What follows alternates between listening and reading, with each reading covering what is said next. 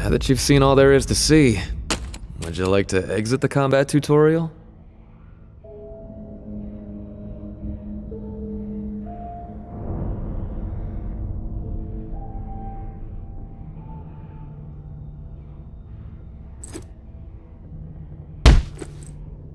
Now that you've seen all there is to see, would you like to...